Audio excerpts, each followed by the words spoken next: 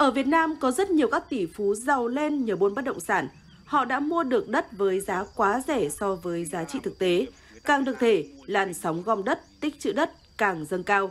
Dòng vốn tín dụng ngân hàng chảy vào đất đai như nước chảy chỗ trũng.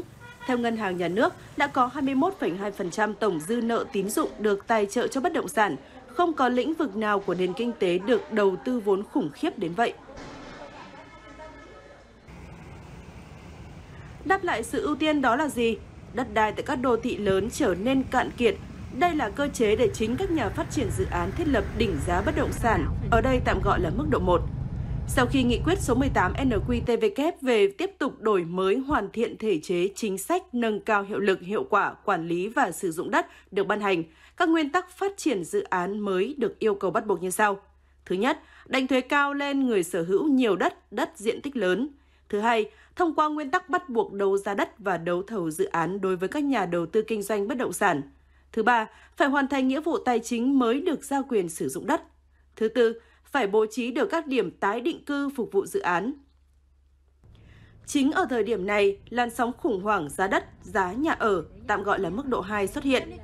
Rất nhiều doanh nghiệp bất động sản đang có niềm tin rằng, với các điều kiện khắt khe như trên, sẽ ngày càng khan hiếm dự án mới. Trước nguy cơ sinh tồn, họ quyết liệt và vớt vát, đẩy giá bán lên cao, bất chấp các áp lực trả nợ ngân hàng và trái phiếu đang kể cận cực kỳ nguy hiểm.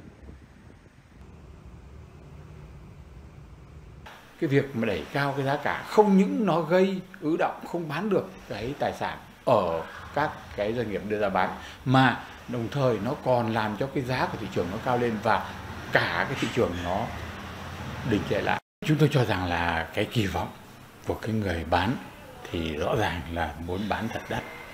Nhưng cái mức giá nào đi chăng nữa thì nó cũng phải được thị trường trả sát và quyết định. Cái chủ đầu tư có đưa ra giá cao ấy thì cũng chỉ ngồi đấy nhìn thôi.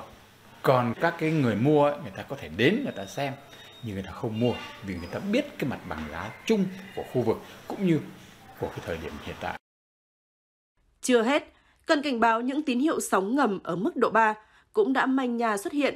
Nó được tạo nên bởi những người vẫn còn khả năng tài chính. Họ níu kéo theo đuổi dự án theo kiểu cứ chịu đựng đi, cố níu kéo đi, chỉ một năm nữa tình hình sẽ đổi khác. Tuy nhiên, số lượng các nhà phát triển bất động sản đủ tiềm lực để chịu đựng thêm một năm nữa không hề cao. Và đây chính là lúc thị trường liên tiếp phải chịu đựng sự bất hợp lý và đầy mâu thuẫn về giá bán bất động sản. Hy vọng rằng không có mức đỉnh phi lý tiếp theo được xác lập, bởi các nhà hoạch định chính sách đã chỉ ra tận gốc của sự phi lý ấy để sửa chữa. Đối với luật đất đai lần tới, thì trong cái nội dung liên quan đến cái trách nhiệm về quản lý nhà nước đối với đất đai và hậu quả pháp lý của cái việc tội phạm mà gây lũng loạn thị trường, nâng giá cao bất thường nó ảnh hưởng đến cái cái cái mặt bằng giá và cũng là một trong những cái nguy cơ mà chúng ta sẽ thấy rằng là những vấn đề liên quan đến rửa tiền trong cái lĩnh vực đất đai Xác định đúng giá đất chính là sửa sai để đưa con tàu đang chật đường dây trở lại chạy bình thường, tuy nhiên mọi sự sửa sai đều không tránh khỏi trả giá. Đưa con tàu đang chật bánh trở lại đường dây là việc không dễ dàng. Nhưng nguồn gốc của sai lầm chính là định giá đất thiếu chuẩn ngay từ đầu.